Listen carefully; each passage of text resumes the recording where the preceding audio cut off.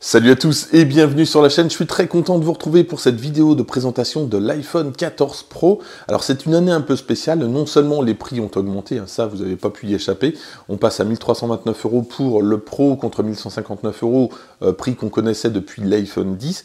Et puis euh, l'autre nouvelle, ça concerne l'iPhone 14. D'habitude, euh, bah, les gammes d'iPhone avaient exactement le même processeur. Cette fois-ci, ça change un peu puisque l'iPhone Pro un nouveau processeur, le processeur A16. Par contre, l'iPhone 14 conserve le processeur A15 de l'année dernière.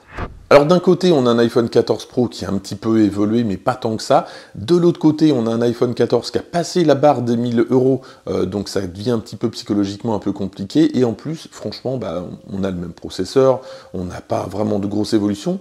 Euh, ça explique peut-être d'ailleurs les, précommandes, en tout cas les, dates de, de livraison, puisque autant on a un petit peu d'attente sur les iPhone 14 Pro, autant il n'y a pas d'attente sur les iPhone 14, ce qui est assez rare.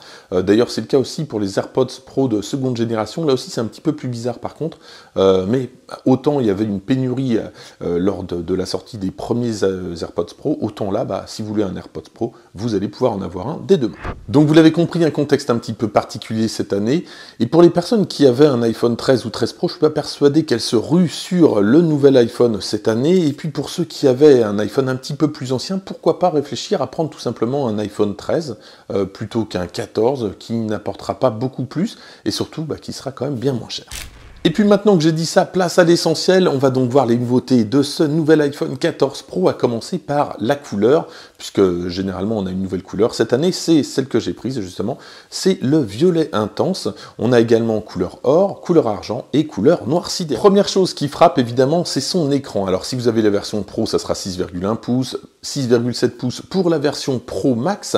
Euh, et puis surtout, c'est la disparition de l'encoche au profit d'une pilule qu'on appelle Dynamic Island, qui permet notamment, en plus de, cacher les caméras, euh, permet surtout d'afficher des informations, alors contextuelles, on verra tout à l'heure, est-ce que c'est une bonne idée euh, ou non? Est-ce que c'est un petit peu comme la touch bar sur le MacBook? On verra à. Et puis deux autres nouveautés de taille, ça concerne toujours l'écran. Euh, la première, ça concerne la luminosité, donc 1000 nits de luminosité jusqu'à des pointes à 1600 nits et 2000 nits en extérieur. Donc ça, pour voir l'extérieur, c'est bien en plein soleil.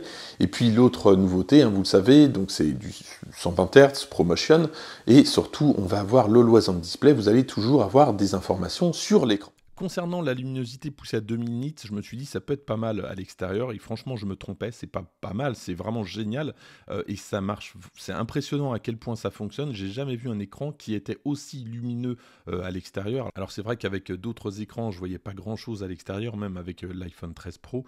là franchement ça change. Hein. Alors je dis pas que ça vaut rien que ça nécessite le changement d'iPhone mais franchement, euh, je trouve qu'on n'en est pas loin. Et l'autre nouvelle fonctionnalité, c'est le Loison Display. Alors ça me plaît moins, euh, personnellement, je l'utilise pas euh, sur la montre, je, trouve ça un peu gadget personnellement, mais je sais que pas mal de personnes attendaient ça. Alors est-ce que sur le téléphone ça va changer les usages? Pourquoi pas?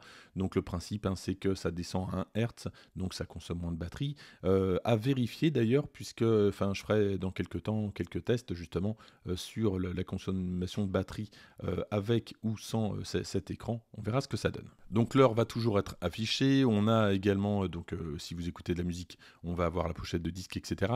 Et euh, Apple donc a expliqué certains cas dans, lesquels le Always on Display ne fonctionne plus. Alors notamment si l'écran est dans un sac, si l'écran est posé sur une surface, s'il utilise CarPlay, si certains modes de concentration sont utilisés, ça va utiliser vos habitudes. Et également le fait que si vous vous éloignez un petit peu avec votre Apple Watch, ça va le détecter. Donc l'écran va s'éteindre. Autre nouveauté cette année, c'est le mode action qui fait son apparition. Le mode action, c'est quoi? Vous êtes en train de courir, vous prenez quelqu'un qui est en train de courir et que vous courez en même temps, ça va stabiliser un petit peu mieux que ce qu'on connaissait déjà. Alors j'ai fait des tests sans utiliser le mode action, ici je suis en train de marcher, c'est toujours aussi stable, en tout cas par rapport au téléphone que j'ai pu tester d'entrée de gamme, c'est relativement stable. Ici j'ai fait le même test, mais cette fois-ci je cours, donc déjà c'est euh, un petit peu moins stable, et voilà ce que ça donne quand on n'active pas le mode action, puisqu'il faut activer le mode, le mode action depuis l'appareil photo. Et voilà donc l'activation du mode action, c'est parti. Donc effectivement, c'est bien plus stabilisé. Donc là, je cours à la même vitesse. Et puis, je vais vous faire le même test, mais avec un iPhone 13 Pro, donc évidemment sans mode action. En haut à gauche, c'est l'iPhone 13 Pro, en bas à droite, c'est l'iPhone 14 Pro, mais j'aurais pu me passer de vous commenter ça. Euh, effectivement, c'est le jour et la nuit, et pourtant je vais à la même vitesse. Donc ça, c'est un bon point en tout cas pour le mode action, qui s'active depuis l'appareil photo. Alors on va le faire, c'est juste ici, et vous allez voir qu'il y a une petite euh, nuance. Regardez, j'étais en 4K, donc je viens d'activer le mode action, et là j'ai même plus 3K. Alors je rebascule, vous voyez, donc en fait, euh, ne vous attendez pas à faire de la 4K. Voilà, j'ai 2,8K, euh, tout simplement parce que pour stabiliser, j'imagine qu'il doit renier un petit peu les contours. En tout cas, tout s'explique, mais c'est franchement efficace. On reste dans la photo et cette fois-ci avec l'appareil euh, principal qui gagne en pixels puisqu'on a 48 mégapixels maintenant.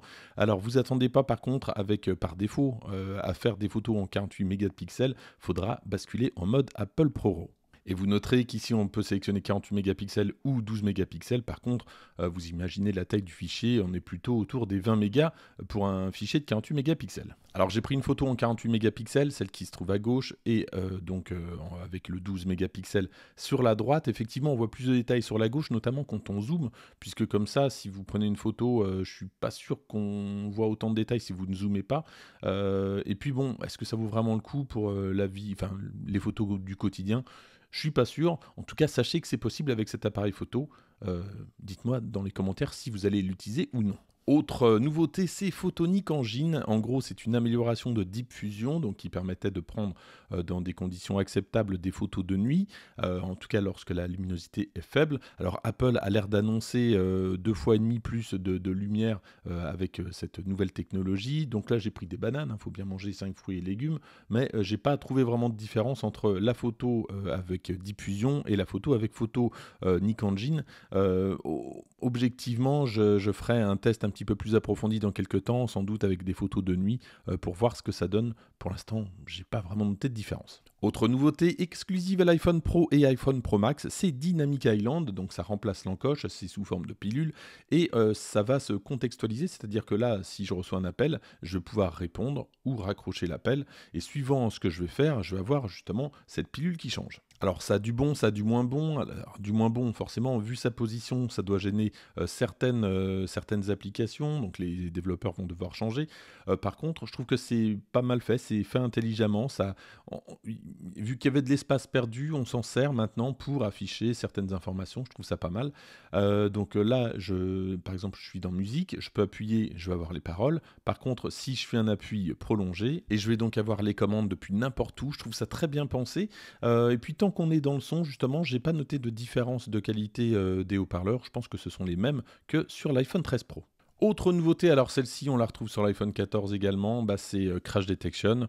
Personnellement, ça m'a pas euh, complètement séduit. Euh, bon, si vous avez un accident en voiture, par exemple, euh, les secours peuvent être appelés directement. Et justement, en parlant de secours, si vous n'avez plus de réseau ou si vous n'avez plus de Wi-Fi, enfin plus rien, vous avez toujours la possibilité d'envoyer des messages. Alors, ça sera disponible à partir de novembre aux États-Unis en France on ne sait toujours pas, quand on pourra envoyer des messages au secours justement par satellite.